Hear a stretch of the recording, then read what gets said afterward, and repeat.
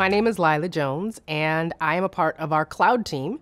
Data is the magic dust that enables people to deliver on some of the ideas and the uh, outcomes that they'd like to have. So, at a very basic level, all of us probably do some level of budgeting.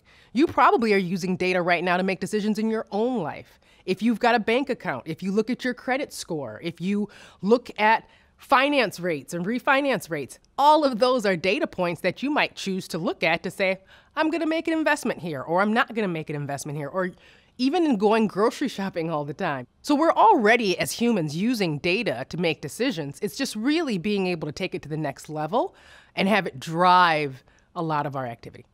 Being a data driven business leader means that you're really using data to make your decisions.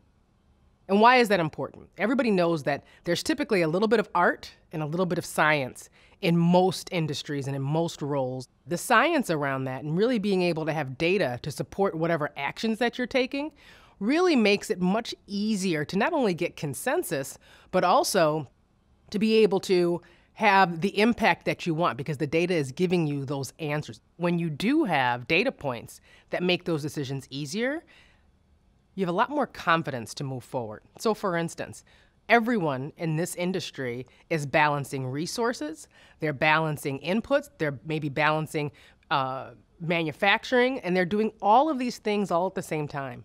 Being able to have data as the foundation of that, as the decision layer that says, yes, we should deploy more resources here, or no, we shouldn't deploy resources there, uh, is really what enables organizations to be able to have more impact, be more efficient, and be more profitable.